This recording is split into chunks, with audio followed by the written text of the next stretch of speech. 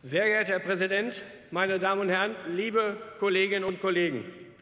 Auch wenn es die Anzahl der anwesenden Abgeordneten nicht vermuten lässt, heute ist es soweit. Eines der wichtigsten rot-grünen Projekte in dieser Legislaturperiode wird mit der Verabschiedung des LEP zu Ende gebracht. Ein Tag der Freude für Rot-Grün und ein Tag des Dankes an alle, die am Zustandekommen des LEP ihren Anteil gehabt haben, unter Würdigung der kritischen Stimmen. Nahezu sechs Jahre intensives Ringen aller Beteiligten um optimale Lösungen, sofern es solche überhaupt im Rahmen der Landesplanung geben kann. Liebe Kolleginnen und Kollegen, für was ist dieser LEP noch während des Verfahrens alles verantwortlich gemacht worden? Für die Opposition und Teile der Wirtschaft Grund allen Übels, aller wirtschaftlichen Verwerfungen.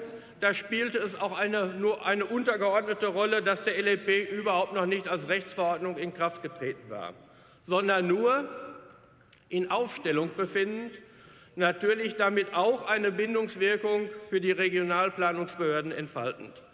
Liebe Kolleginnen und Kollegen, der vorliegende Plan stellt eine faire Lösung im widersprüchlichen Streit der unterschiedlichen Nutzungsinteressen an den Raum dar und das bei über 2000 Vorschlägen und Stellungnahmen im Rahmen einer in der Geschichte des LEP einzigartigen und beispielhaften Träger- und Öffentlichkeitsbeteiligung, einem monatelangen Auswertungsverfahren und zum Schluss des Verfahrens eines zeitintensiven Anhörungsverfahrens mit vielen kompetenten Sachverständigen.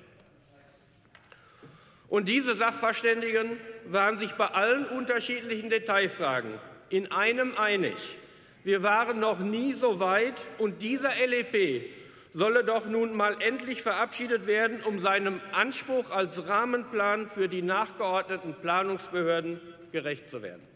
Und das machen wir heute. Und darauf kann die Landesregierung und Rot-Grün durchaus stolz sein. Natürlich sind nicht alle mit diesen Regelungen in diesem Raumordnungsplan zufrieden. Das wäre ja aber auch außergewöhnlich. An die Opposition? Wir haben erkennbar ein grundlegendes anderes Verständnis von der Landesplanung im Allgemeinen und vom Flächenschutz im Besonderen. Und Wirtschaft, und Wirtschaft, Kommunen und Umweltverbände und andere haben nun mal divergierende Interessen und Erwartungshaltungen an den Raum. Diese widersprüchlichen Interessen zu ordnen und zu gestalten, ist der Staatskanzlei als oberste Plan Landesplanungsbehörde mit diesem Entwurf gut gelungen. Die, der Interessenslage der Wirtschaft wurde nicht nur durch ein eigenes Unterkapitel Rechnung getragen, sondern es hat für die Wirtschaft im laufenden Verfahren spürbare Verbesserungen gegeben. Leider hindert das die Wirtschaft und ihre Verbände nicht, weiterhin zu jammern. Ein übliches Ritual. Aber es gehört auch zur Verantwortung von IHK und der Wirtschaft zu erkennen, dass ein LEP nicht als ausschließlicher äh, Wunschkatalog ihrer Interessen fungieren kann.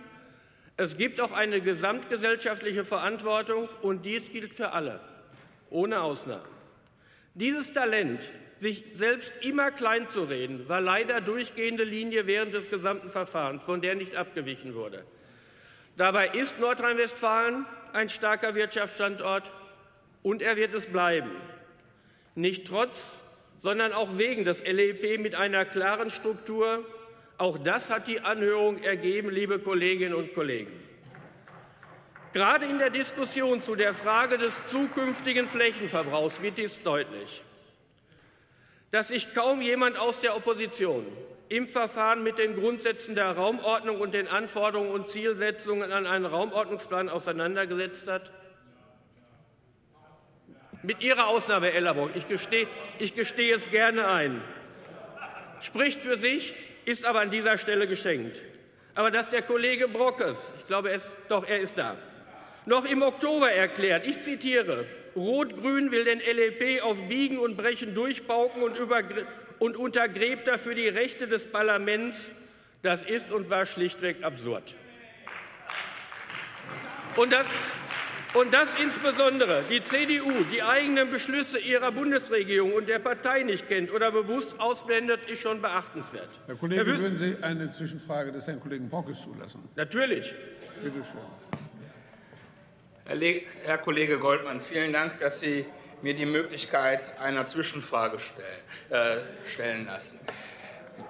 Würden Sie zur Kenntnis nehmen, dass im Oktober von Seiten der rot-grünen Fraktionen geplant war, die Anhörung zum Landesentwicklungsplan in einem Anhörungsverfahren durchzuführen, was nicht den parlamentarischen Geflogenheiten entspricht, sondern im Schweinsgalopp hier durchgezogen wurde. Und erst nach meiner massiven Kritik, die Sie gerade eben vorgelesen haben, seitens der Koalitionsfraktionen von diesem völlig überzogenen Fahrplan äh, abgeschritten wurde und dass man dann ein Verfahren durchgeführt hat, was äh, auch diejenigen mit äh, einbindet, die Ausschüsse, äh, die halt außerhalb des Wirtschaftsbereiches tätig sind.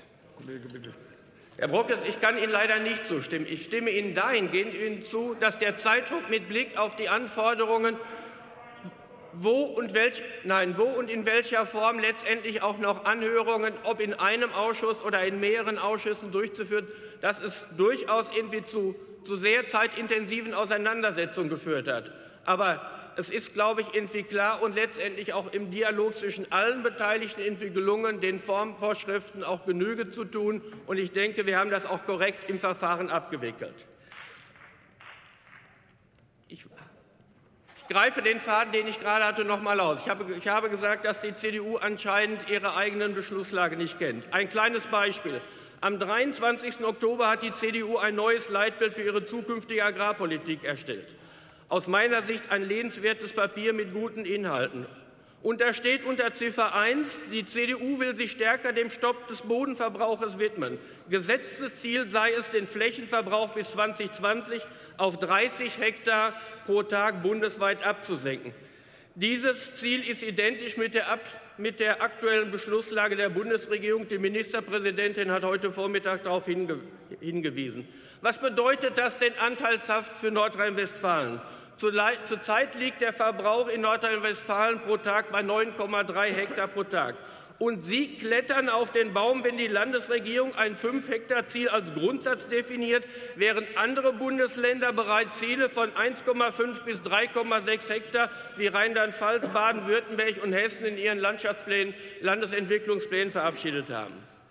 Liebe Kolleginnen und Kollegen, zum ersten Mal in der Geschichte der Landesplanung werden wir durch die Einführung eines landesweiten Monitorings vergleichbare Rahmenbedingungen auf der Ebene aller Regionalplanungsbehörden in Nordrhein-Westfalen schaffen.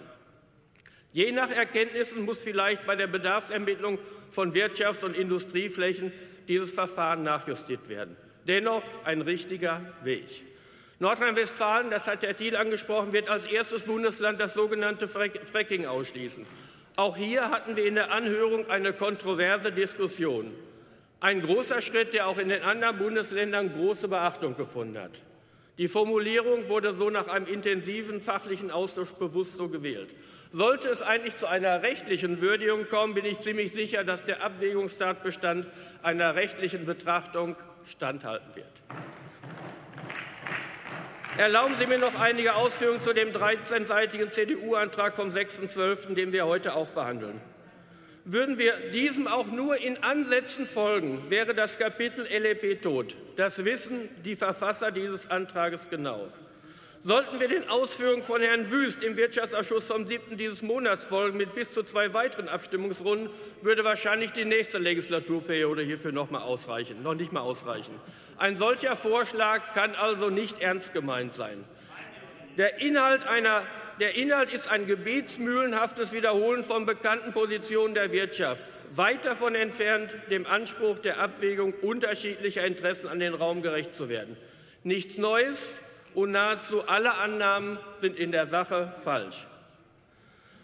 Liebe Kolleginnen und Kollegen, manchmal gehört auch etwas Mut zum politischen Geschäft Stimmen wir dem Planentwurf nach 17 Absatz 2 dem Landesplanungsgesetz also zu. Ich wünsche Ihnen allen ein gesegnetes Weihnachtsfest. Danke sehr. Vielen Dank, Herr Kollege Goldmann. Das wünsche ich Ihnen auch. Und für die